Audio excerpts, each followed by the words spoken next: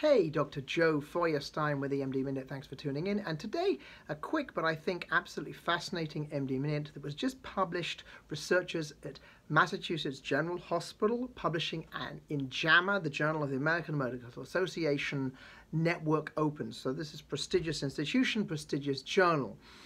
There is a lot of discussion in the literature about the relationship between depression and use of social media, especially in younger adults and in youngsters.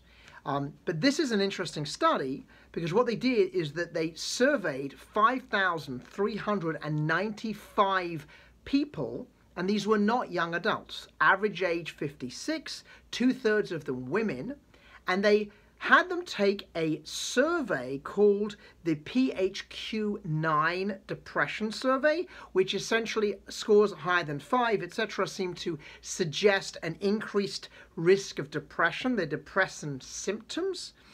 And what they did is they took that and then they asked them, what social media platforms do you regularly use? And the results are absolutely fascinating. They found that if you were using Snapchat, your risk of worsening depression score and therefore worsening depression symptoms was 53% higher than people who weren't. Uh, Facebook was 42% higher than people who weren't, and TikTok was 39% higher.